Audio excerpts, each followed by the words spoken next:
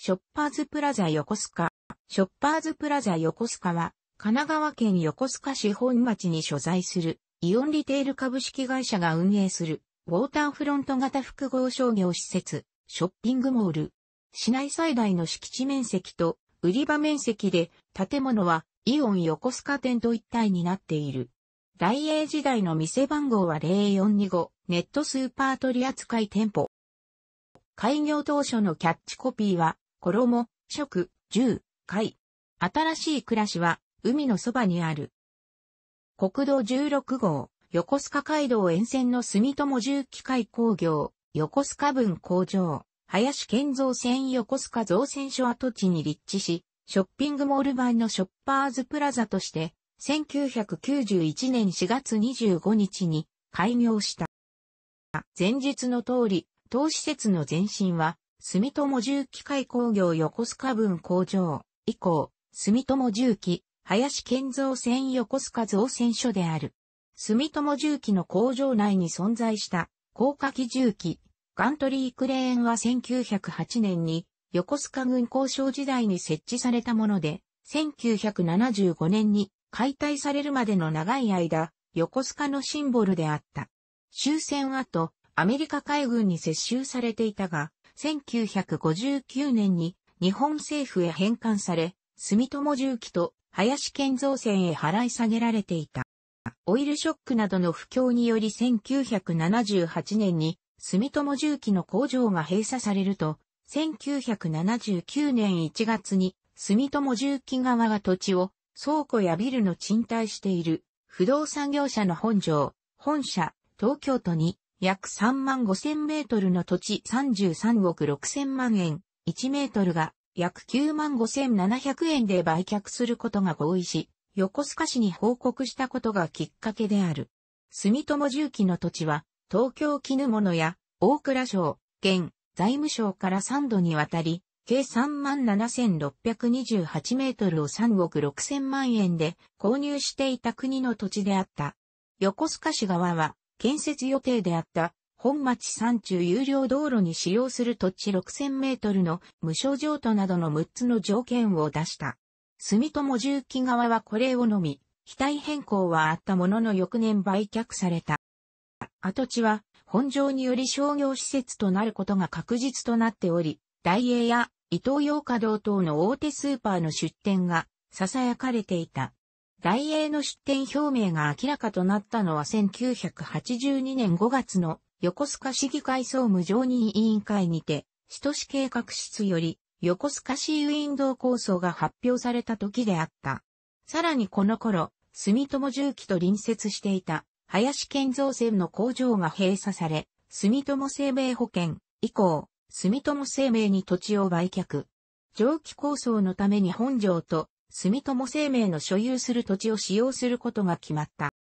しかし、京急本線の塩入駅や横須賀中央駅付近の地元商店街の反対は凄まじいもので、本城が住友重機から土地を購入する際にも大手スーパーの進出を危惧し、大英出店表明後も合わせて11件もの陳情書が横須賀市に提出されている。しかし、塩入地区の商店街は大英進出は脅威であったものの、横須賀市の中心は、横須賀中央駅周辺であること、1980年代の横須賀の商業力は弱く、都市間競争に勝つ必要があったこと、返還運動を続けていた在日アメリカ海軍兵員クラブ、EM クラブが1983年に日本政府に返還されたため、それに合わせて塩入駅周辺を再開発する機運が高まった。ことを理由に出店を徐々に容認する傾向になっていった。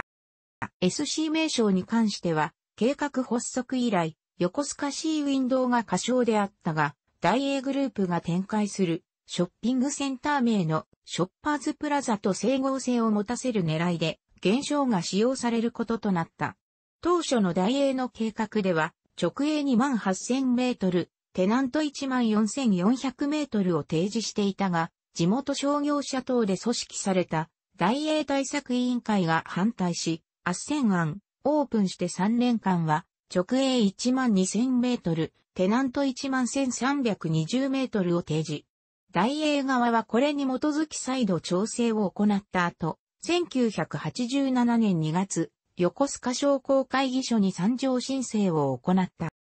参上申請を行った際には、未だ詳しい内容が決まっておらず、ショッピングモール以外に24時間営業の大型飲食店ゾーンや水上レストラン、博物館それにホテル等、様々な施設の建設案が出ていた。最終案に近かった14階建てで6階から14階をオフィスビルにする案もあったが中止され、オフィスビルのフロアを取り除いた地上6階建ての建物を設計することで決定した。1989年9月から着工し1991年4月にショッパーアッツプラザ横須賀が開業した。設計は株式会社 RI ト名和工芸が担当し、後に建物は小環境デザイン賞を受賞することとなる。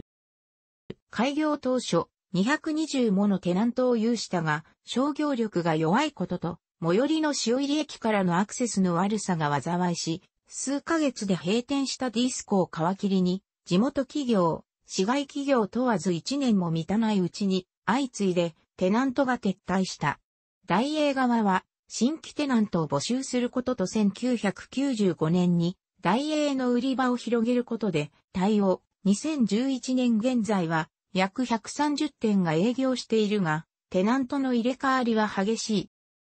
なお、ダイエーは出店計画当初から子会社で、ショッピングセンター開発を担当する、ダイエーリアルエステート、略称、ドレイに一任し、当店の運営も行ったが、1991年8月に、店舗の迅速出店への体制強化の一環でドレイが行ってきた、ショッピングセンターの開発、運営をダイエーが引き受け現在に至る。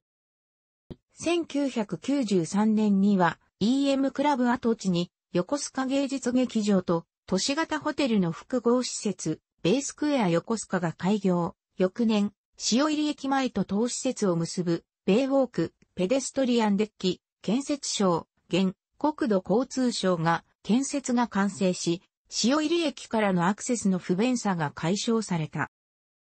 2016年3月1日より、ショッパーズプラザ横須賀の運営が株式会社オーパ、及び株式会社大英からイオンリテール株式会社に承継された。中核の大英横須賀店の運営も承継され、同年3月14日まで大英として営業した。改装休業を経て3月17日にイオン横須賀店として開業した。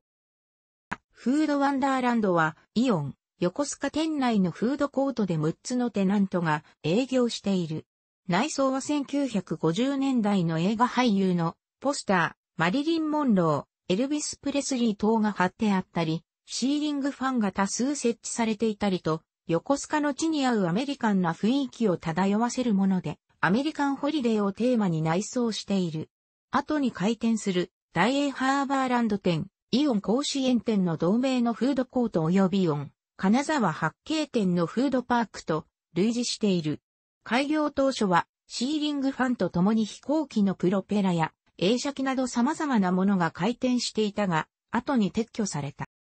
当店の駐車場には様々な動物が表示されている。出店テナントの詳細は公式サイト、フロアガイドを参照。楽しくご覧になりましたら、購読と良いです。クリックしてください。